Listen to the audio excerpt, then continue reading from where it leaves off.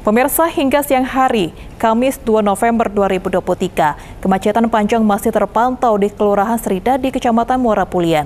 Kemacetan terjadi hingga mencapai 4 km.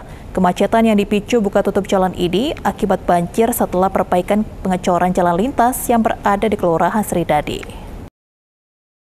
Pekerjaan pengecoran jalan lintas yang berada di Kelurahan Sridadi, Kecamatan Muara Pulian, yang dinilai lamban dan tidak teratur sebagai pemicu terjadinya macet panjang.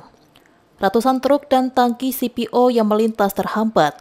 Selain itu, masih terpantaunya beberapa kendaraan angkutan batubara yang tidak masuk ke kantong parkir menjadi salah satu pemicu kemacetan terjadi.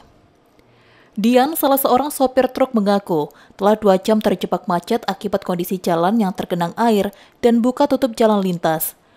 Kondisi ini dinilainya karena pekerjaan yang lamban dan tidak terlihat adanya petugas yang mengatur jalan tersebut. Lama bang kita terjebak macet ya? Dua jam pak. Dua jaman ya? Ya. Kira-kira apa penyebabnya tuh bang? Itu di lubang pak. Lubang cerita di itu. Barang Kalau bang dia, buka tutup jalan dia. Buka tutup. Oh, harapannya bang?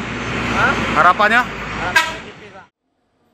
Hal senada juga diungkapkan Bukhari. Sopir truk yang juga mengeluhkan kemacetan ini karena membuat perjalanannya terhambat. ribu, ribu kan. Oh. Itu lah berapa sering abang lintas jalan ini macet bang? Iya, udah sering. Mungkin itu lah ada dua bulan tuh. Gitu ya? Yang di Jambi be dua hari udah siap. Oh. Minggu be udah siap, bisa lewat. Abang terjebak macet sini berapa lama?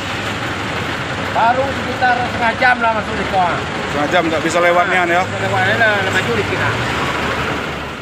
Pengguna jalan berharap adanya petugas yang berjaga dan mengatur jalan lintas sehingga tidak terjadi kemacetan parah seperti kali ini.